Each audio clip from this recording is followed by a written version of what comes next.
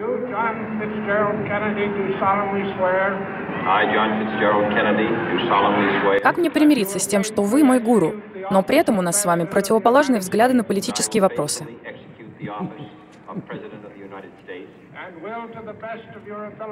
Я гораздо более левый, чем ты можешь себе представить.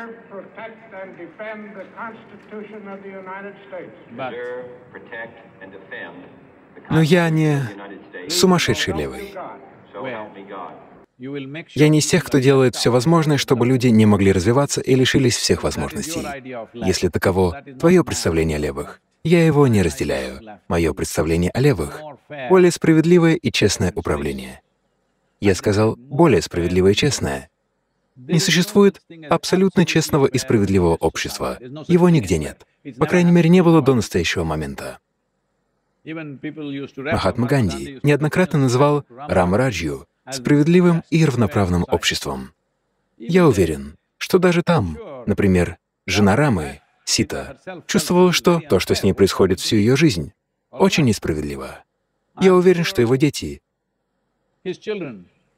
точно чувствовали, что с ними поступили абсолютно несправедливо. И я уверен, что во многие моменты своей жизни сам Рама чувствовал, что с ним поступают несправедливо.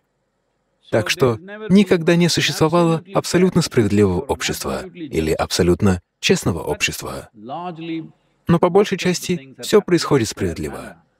По крайней мере, даже если у нас нет равенства среди людей, по крайней мере, у людей есть равные возможности. Это все, что мы можем обеспечить.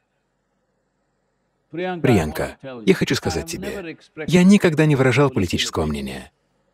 Если я выскажу свое политическое мнение, ты упадешь в обморок. Поэтому я держу его при себе. Я только указал на некоторые факты. Если не различать факты и мнения, тогда возникает огромная проблема. Если ты веришь, что твое мнение гораздо важнее, чем воля народа в демократическом обществе, тогда у тебя серьезная проблема. И ты ищешь тотальной революции. Тотальная революция в сегодняшнем мире означает тотальную аннигиляцию. С идеями о вооруженных революциях, которые у нас были в XIX и XX веке, покончено. Время этих революций прошло, учитывая то оружие, которым мы сейчас обладаем. Если революционеры возьмутся за оружие, и власти тоже возьмутся за оружие, в результате будет только разрушение и смерть, и ничего больше. Так что ты родилась слишком поздно для вооруженных революций. Да. Когда мы были молоды, мы постоянно думали о вооруженной революции. То были времена Чару Мазумдара и Сомалу, у всех на устах были эти героические истории, и мы тоже хотели выйти и сражаться. Но эти времена прошли. Сейчас, если ты хочешь привнести какие-то изменения, особенно когда дело касается Индии, сделать это можно только с помощью демократического процесса. Демократический процесс означает, что если два человека участвуют в выборах, то один победит, а другой проиграет, как это происходит и в любой другой игре. Так что если проигравший хочет писать законы, проигравший хочет нести кубок. Разве это честно? Разве честно, если те, кто проиграли игру, будут нести трофей у себя на голове? Это нечестно. Но сейчас ты спрашиваешь именно об этом. Люди выбрали определенное правительство. Если они принимают законы, они делают это, поскольку это их фундаментальная обязанность. После того, как тебя избирают, необходимо принимать законы. Если они примут закон, а ты скажешь «нет», закон должны принимать мы. Вы не можете принимать законов. Ты не можешь так говорить. Ты можешь выразить свое мнение. Что, по-твоему, не так в законе? Ты можешь написать. Можешь голосовать против него в парламенте или в ассамблее, или где угодно еще. Какому бы демократическому органу ты не принадлежала. Но ты не можешь сказать, что избранное правительство не может принимать законы. Это не демократично. Все это левое крыло или все эти люди, которые считают себя левыми. Я вижу, как они выстроили свои жизни, свои идеи, мнения, эмоции. Левый значит, что твоя жизнь не принадлежит тебе, твоя жизнь принадлежит коммуне. Вот что такое коммунизм. Не знаю, к какому левому движению принадлежишь ты, потому что твой образ жизни не показывает, что ты левая. Твое отношение к другим не показывает, что ты левая. И ты сказала, я левый либерал. Ты определенно не либерал, потому что если свобода речи есть только у тебя и больше ни у кого, это не либерализм. Мое понимание либерализма такое. Я буду говорить все, что у меня на сердце. Ты должен слушать меня и говорить мне, в чем я не прав. Нет. Нельзя указывать на что-то одно. Ты просто говоришь, мне это не нравится. Это как семейные ситуации. То, что происходит между мужем и женой, не должно происходить между тобой и мной. Если что-то не так, если ты можешь указать на что-то, что логически неправильно, если сказанное не соответствует фактам, если ты скажешь мне об этом, я поклонюсь тебе и исправлюсь. Но тебе это просто не нравится. Что же я могу сделать, если тебе это не нравится?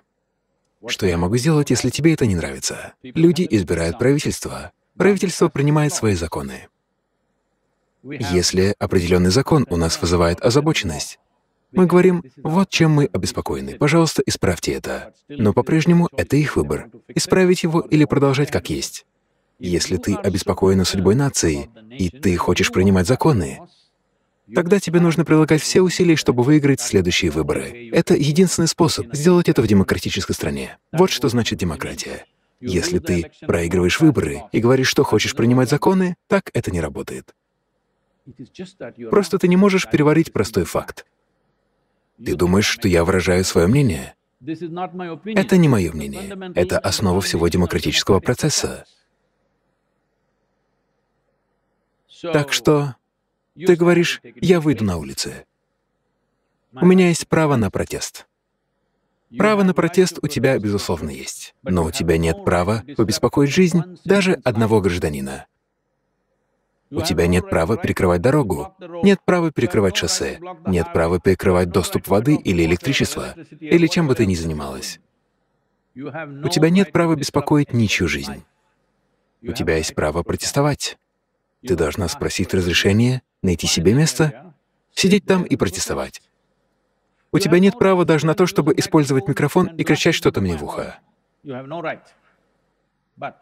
Но у тебя есть право на протест на соответствующих платформах. У демократического процесса есть достаточное количество платформ, на которых ты можешь выразить свой протест. У тебя, безусловно, есть право на протест, но не нужно понимать его неправильно, как право на беспокойство. Ты хочешь начать движение вон из Индии сейчас.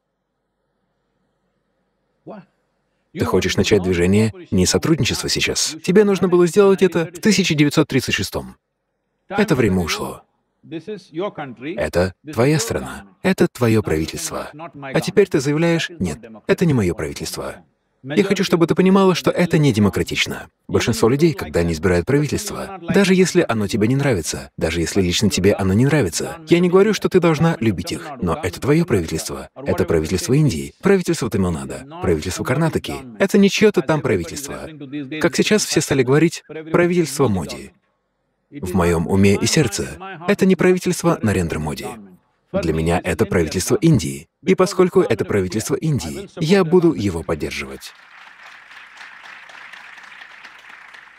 Не потому, что я чей-то фанат, не потому, что я принадлежу какой-то политической идеологии, просто потому, что я гражданин Индии. А для меня это значит, что поскольку я гражданин, страна предлагает определенный порядок, определенные инструменты, определенный фундамент, чтобы мы могли жить и работать. Я поклонюсь этому, и чтобы правительство не говорило в форме закона, я буду следовать этому, потому что это закон. Нет, я не соглашаюсь с законами, которые вы принимаете. Если ты не согласна, тогда есть Верховный суд, куда ты можешь обратиться. Если закон противоречит каким-то нормам, его отменят. Но если закон ничему не противоречит, но тебе он по-прежнему не нравится, тебе нужно выиграть на следующих выборах. Другого пути нет. У тебя нет достаточной приверженности, чтобы работать в течение пяти лет и выиграть следующие выборы. Ты хочешь с комфортом сидеть дома всю свою жизнь, но протестуешь против всего, что делает правительство.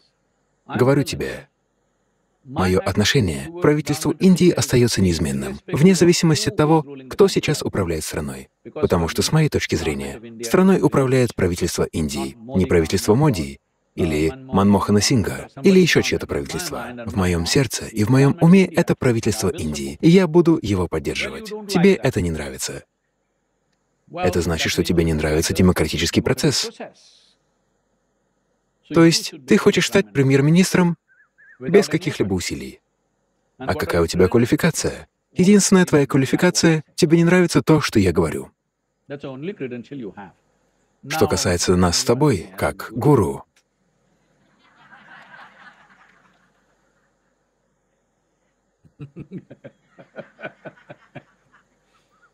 тебе нужно научиться слушать. Как-то раз несколько друзей отправились в ресторан шумной компанией. Это все старые друзья из колледжа, которые давно не видели друг друга. Пять или шесть лет они не виделись. И вот, наконец, собрались вместе. Там играла живая музыка. Музыкант на сцене исполнял разные композиции. Одна мелодия показалась им знакомой, но они никак не могли вспомнить, что это за композиция. Так что они подозвали официанта и попросили, «Не могли бы вы узнать, что только что прозвучало со сцены?» Официант ушел и через пять минут вернулся со словами. Это была скрипка. Это значит, что ты просто слышишь звуки, но не слушаешь. Если бы ты по-настоящему слушала, ты бы поняла, что я никогда не выражал мнений о чем либо потому что я не сформировал ни одного мнения в своем уме. Если я что-то увижу, я скажу, что это факт. И у этого могут быть такие-то последствия. Сейчас я говорю, что, скорее всего, нам нужно продлить карантин. Это не мое мнение. Есть достаточно фактов, указывающих на это. Но все равно это решение. Нам нужно взвесить самые разные аспекты. Сработает ли это для нас или будет работать против нас? Сможем ли мы это себе позволить или нет? Это решение, которое мы принимаем. Если мы примем решение в пользу изоляции или против изоляции, ни то, ни другое решение не будет идеальным. Это мы уже знаем. Но это решение. Ни одно решение не идеально. Оценивая разные аспекты в соответствии с нашими приоритетами, мы приходим к решению. Если вы думаете, что это мое мнение, что, предположим, я за продление изоляции, о, это ваше мнение, нам оно не нравится. Это не мое мнение. Прекращение изоляции — это одна опция, продолжение изоляции — другая. Нам нужно взвесить потери и пользу, достоинства и недостатки, и прийти к чему-то. Это всегда компромисс. Насколько это будет компромиссом, это можно обсудить. Возможно, вы не согласны с моим решением. Но дело не во мне. Не в том, что я делаю заключение о чем бы то ни было. Особенно о туманных политических событиях в стране. Любому будет очень сложно сформировать свое мнение об этом. Но я хочу, чтобы вы поняли, я прожил свою жизнь, придерживаясь строгой дисциплины, не делая выводов ни о ком из тех, кто рядом со мной. Что касается тех, кто рядом со мной, у меня по-прежнему нет мнения о тех, кто со мной 20-25 лет. Я по-прежнему вижу их такими, какие они есть сегодня. Они много сделали для меня. Много плюсов, много минусов. Они сделали для меня очень много. Но сегодня, если я их вижу, я вижу их такими, как они есть. Исходя из этого, ситуация разворачивается так, как она разворачивается. Чтобы не прийти к какому-то заключению, нужно много дисциплины и внутренней работы. Так что, когда речь идет о духовном измерении между тобой и мной, тебе нужно слушать, а не слышать. Если я спрашиваю тебя, что играет, ты говоришь «скрипка». Думаешь, я перепутал ее с пианино? В любом случае, не знаю, насколько ты левая, но я очень левый. Потому что йога-центр — это коммуна. В некотором смысле это коммунистическое устройство. Никто не спрашивает, сколько у тебя имущества. Никто не спрашивает о твоей религии, касте, откуда ты родом, кто твой отец.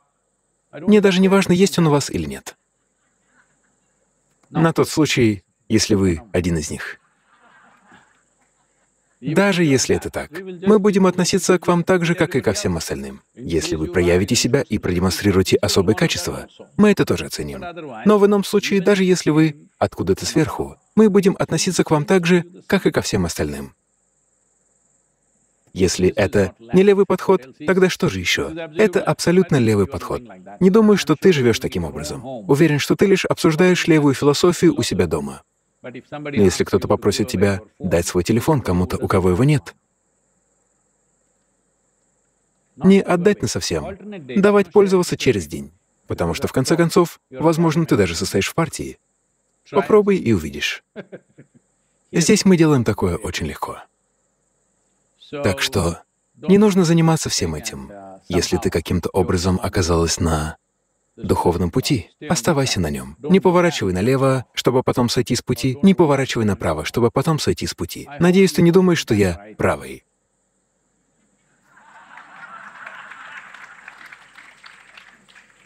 Определенно нельзя сказать, что я принадлежу к правому крылу. Чтобы летать, нужно два крыла. У меня есть оба. Я машу ими, когда в этом возникает необходимость. Mm-hmm.